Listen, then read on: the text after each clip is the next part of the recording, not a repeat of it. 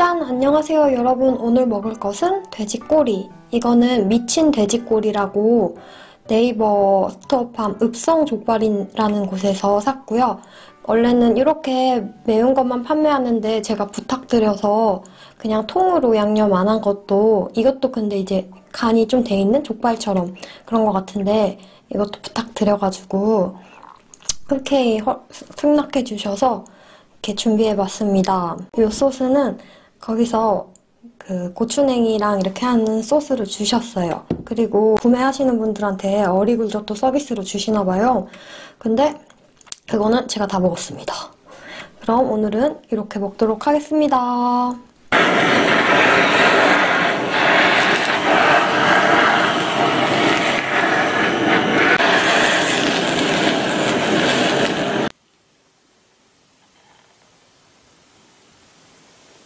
매운 거부터.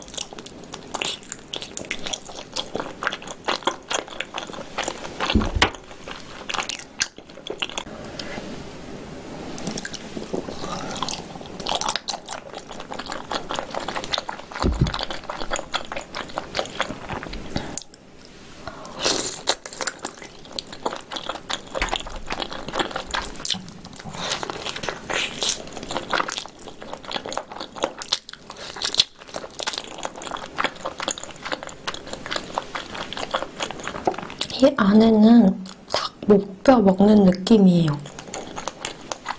살이 이렇게 있어요.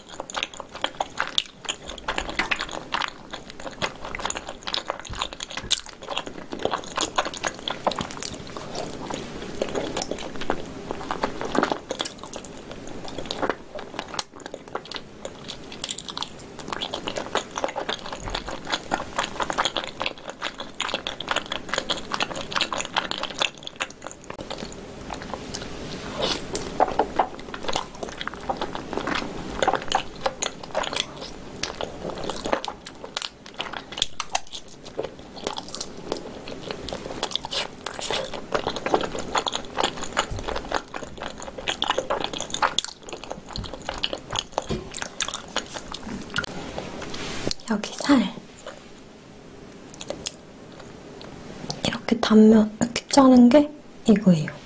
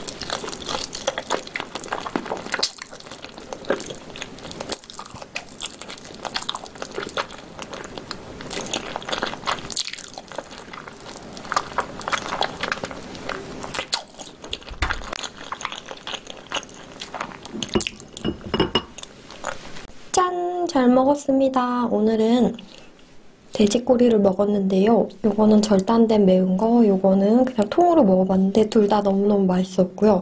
가격도 제가 생각했을 때, 아, 제가 기억하기로는 오늘 이거 두 봉지 한 거거든요, 빨간 거는. 한 봉지당 6천 얼마였던 것 같아요. 그래서 되게 저렴하고 미니족 좋아하시는 분들은 한번 드셔보세요. 진짜 맛있습니다. 그럼 안녕.